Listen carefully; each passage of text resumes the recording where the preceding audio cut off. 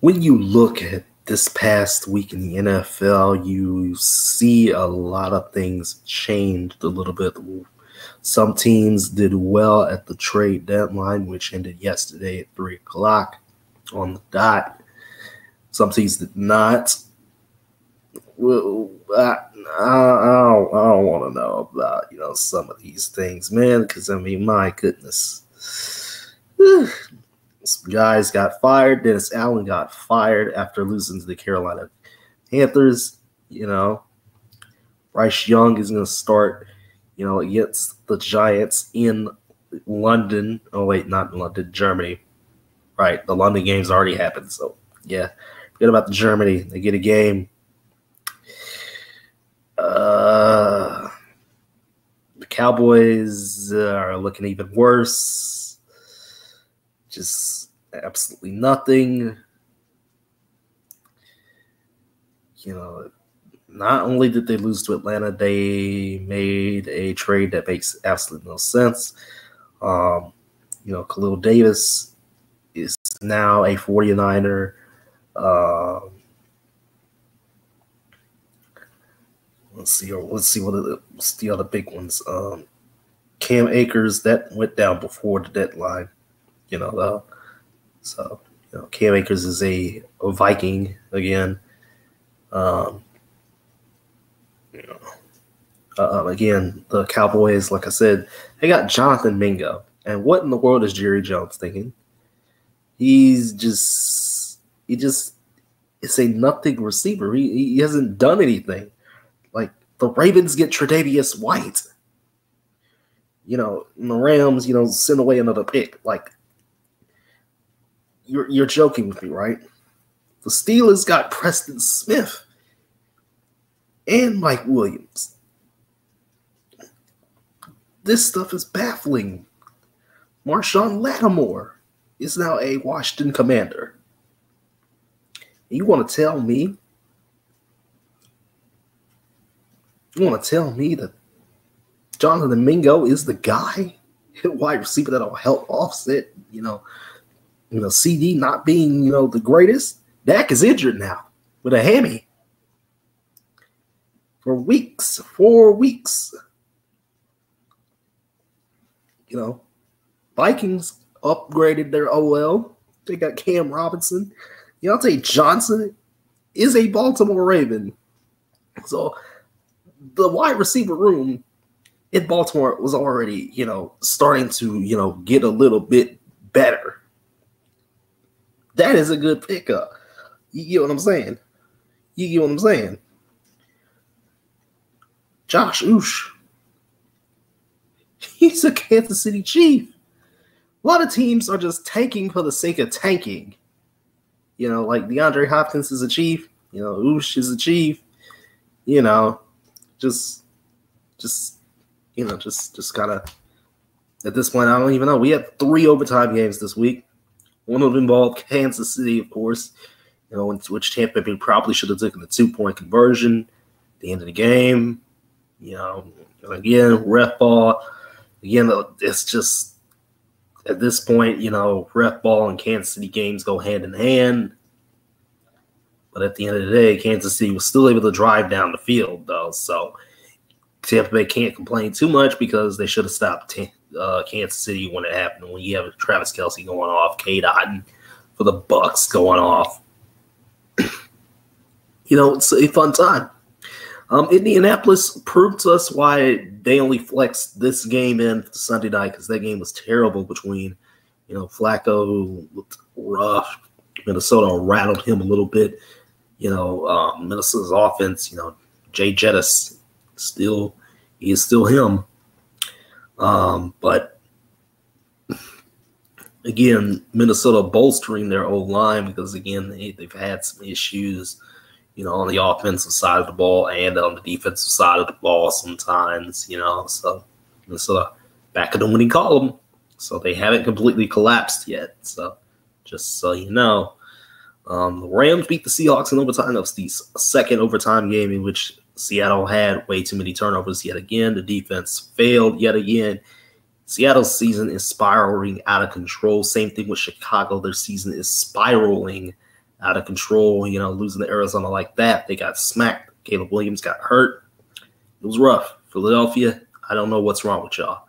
You gotta try and stay in the pace of things. Washington. You get the Dallas Cowboys this week, Philadelphia. You get you get my Dallas Cowboys in the national window because God loves to see the suffering. Uh, uh, don't you just love being a masochist? I love being a masochist for the Dallas Cowboys because there is nothing but pain and suffering, and I'm just gonna, you know, just take it in.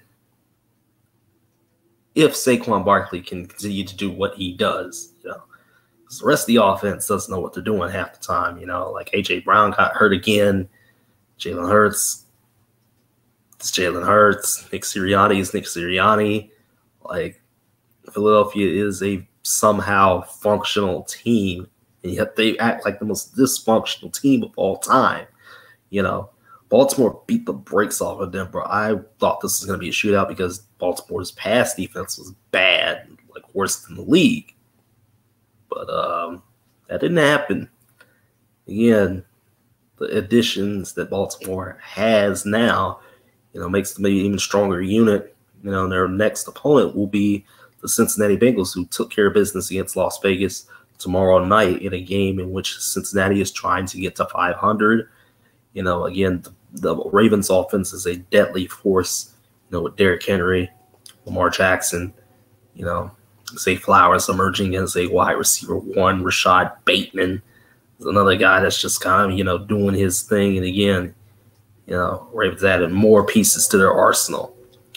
Um, Tennessee, New England went to OT as two, but I mean Drake Maye got, you know, got smoshed, you know, and somehow Mason Rudolph got Tennessee a victory. I, I don't I don't know how. Uh, the Chargers they quickly shut down the Jameis Winston, you know, savior hype with beating the brakes off Cleveland. Buffalo beat Miami because Miami can't seem to win close games at all. You know, they lose again by a game winning field goal. Uh, New York, the Jets surprisingly beat Houston. Houston's been kind of a head scratcher, but I get it because Stefon Diggs is out, but everybody else needs to start stepping up. You can't be just Joe Mixon all day, you know what I'm saying? And again, Dennis Allen got fired, so because you know you don't lose to the Carolina Panthers. Washington, they took care of business against New York, the Giants. It wasn't really taking care of business when when Terry when Terry McLaurin, you know, has two catches for 19 yards and two touchdowns, you know you're doing something. Daniel Jones had a stat line of like four for eight with zero yards at one point. Just the Giants are a meme in and of themselves. So this week we're kind of asking, you know, Tampa Bay, are they in trouble now? They have San Francisco this week. Um, again, Philadelphia, like I said, they got to stay with Washington in the NFC East. Again, they're playing the Cowboys. Not a very good Cowboys team again. You know, Cooper Rush should be starting. Um, Houston, they got to get back on the winning side. But again, they face Detroit who just absolutely dismantled Green Bay. I'm talking Jordan Love and company looked lost on that field. They looked lost in Lambeau. And I mean, yet again, Jared Goff had a absolutely mind-numbingly beautiful stat line. Let me tell you, just he, he'll complete like 10 or 15 of his first 15 passes. He'll go 15 straight completions right out the gate. You know, barely be at 100 yards and, you know, have like two or three touchdowns, you know, already, you know, thrown with Gibbs and Montgomery in the backfield, you know, provide TDs too, you know. So, so Detroit and Houston will square off on Sunday night.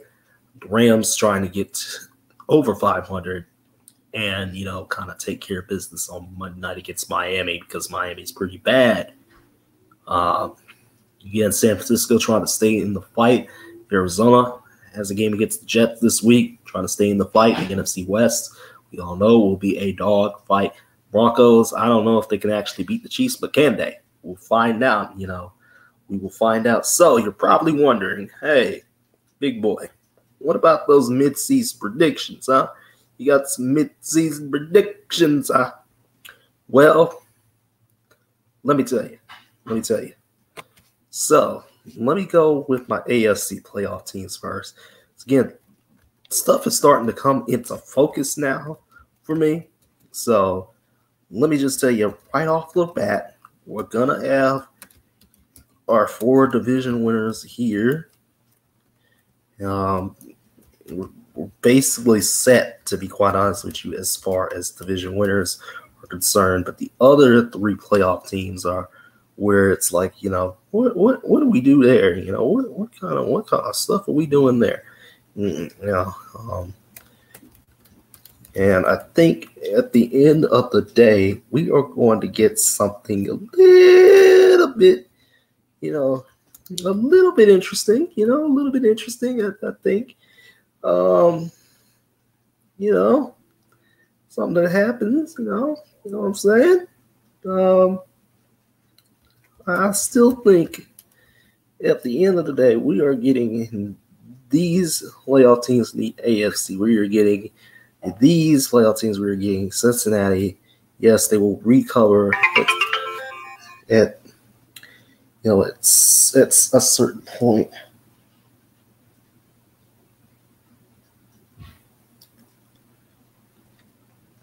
Sorry about that. Um, work work popped up for a second, so I have to take care of that because I need I need work for Tuesday. Uh, but yeah, Buffalo, Houston, Baltimore, Kansas City. I think all those teams will win the AFC divisions at some point. Probably, maybe if Pittsburgh has something to say about that, they have a big game again against Washington. So Russ, Big Russ versus Jayden Daniels in a good one, to be quite honest with you, because that is a good, good looking game. TJ Watt, to be against Jay Daniels, boy, boy, let me tell you. So, um, and again, like a lot of things are just kind of set in stone already, which is the crazy part because there are so many teams in in the both in the NFL in general that just have two wins or three wins or one win and it, they just don't move the needle. You know, like the Cowboys look pathetic. Don't move the needle. New England, terrible. Tennessee, terrible. Miami, terrible because they got off to a bad start, you know, because of Tua getting hurt. But they were terrible regardless. Carolina, terrible. New Orleans has lost seven straight. New York, the Jets, terrible yeah, they got to win against against Houston, but that's any given Sunday in the NFL. Y'all know this. We all know this. Um, you know, it's just it's just a lot of it's just a lot of terribleness, you know, at this point. And you know what I think is going to happen in, in the NFC is a little bit different you know, just a little bit different. I think we're getting Washington Philadelphia, Detroit, Green Bay. Yes, Green Bay. I know they haven't looked the greatest. Minnesota, Atlanta, and so, somebody's gonna have to come out the West, and it's gonna be Arizona, I think. Now, you know, um, I think my Super Bowl prediction will remain the exact same as before. You know, I think my prediction is going to stay the same, which is Kansas City will defeat the Detroit Lions in the Super Bowl to win their third straight Super Bowl. That is my prediction. Still, still think we're getting that somehow with the storyline of Kansas City still being unbeaten. You know, looking, you know, not like the greatest unbeaten, kind of like how Pittsburgh, you know, during the pandemic wasn't, you know, the greatest at like 11 and 0 before they lost their first game. It's going to be one of those. It's going to be one of those kinds of years, you know, I think. But we'll see. Still a long season to go, but the NFL again is unforgiving. It is a merciless beast. There's so many injuries. There's so many people that have to step up into new roles to overtake you know, something that you know may you know get interesting because again, NFL is a crazy beast and it's a lovely one, you know, but I love it all the same. Love it all the same. Same thing with college football. Even though it's a crazy beast, I love it all the same. it's stuff that I can actually debate over, you know, and not get tired, you know, because you know something else happened yesterday aside from the CFP rankings, but I don't want to talk about it right now.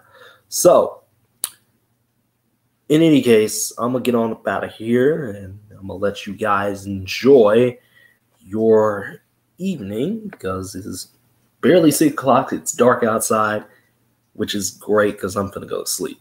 I'm gonna go to sleep, man. To be quite honest with you, so I'm gonna get on up out of here, and y'all take care. Be sure to like, share, comment, and subscribe to Big Boy Sports, and I'll see you soon with more content.